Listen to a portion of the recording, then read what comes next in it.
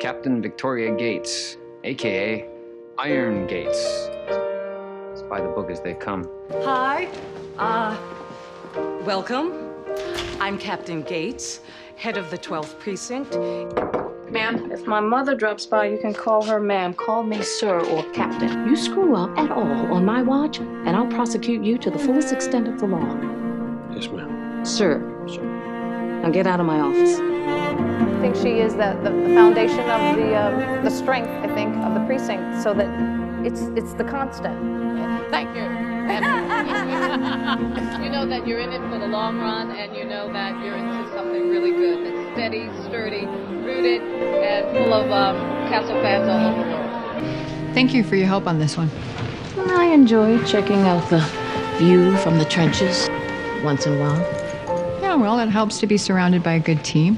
You mean Castle? He said it, not me.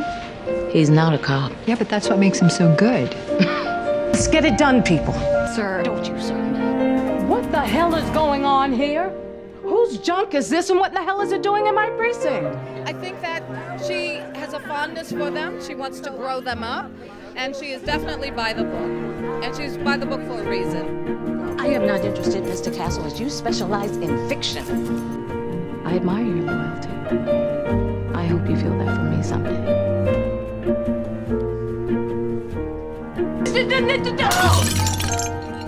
Detective Beckett, Mr. Castle, Yeah, she jumped at the chance to dress you down for any reason. Oh, for heaven's sake, Detective. Just kiss the man. As long as we're on neutral ground here, I'd say, uh, he deserves it. Wouldn't you?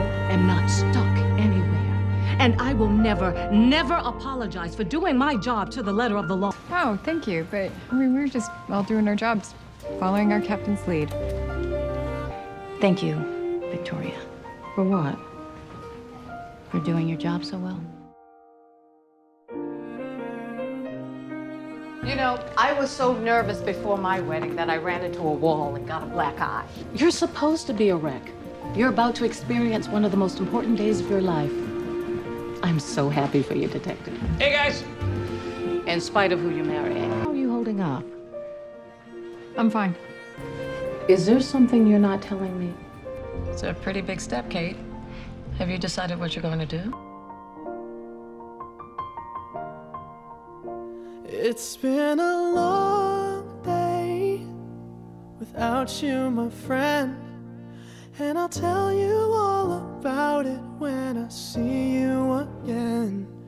We've come a long way from where we began. Oh, I'll tell you all about it when I see you again. When I see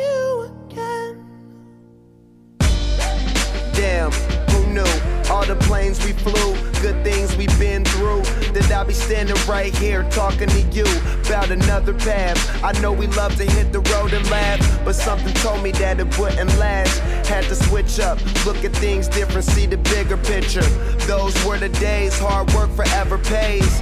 Now I see you in a better place. See you in a better place. Uh, how can we not talk about family when family's all that we got? Everything I went through, you were standing there by my side. And now you gon' be with me for the last ride. It's been a long day without you, my friend. And I'll tell you all about it when I see you again. See you again. We've come a long way Came a long way. from where we began. You know we started. Oh, I'll tell you tell you. When I see you again.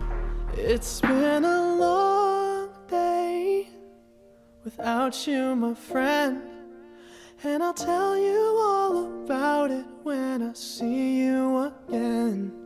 We've come a long way from where we began.